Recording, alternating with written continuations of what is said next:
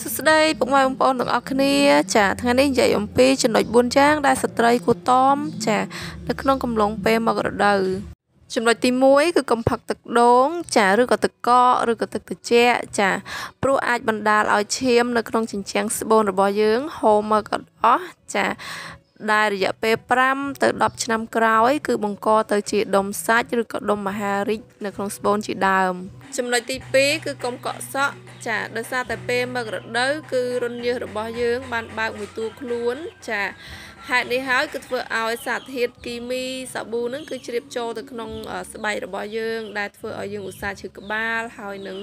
បង្កឲ្យយើងមានភាពចាស់ជាងវ័យនៅទី3គឺកុំញ៉ាំផ្លែត្រសក់ព្រោះធ្វើឲ្យរាំងរដូវហើយធ្វើឲ្យឈាមនៅក្នុងជញ្ជាំងស្បូនបាត់បង់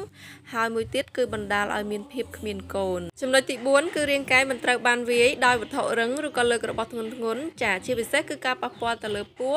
ព្រោះធ្វើឲ្យក្អួតហើយស្បូនរបស់យើងគឺអាចរងរបួសថែមទៀតផង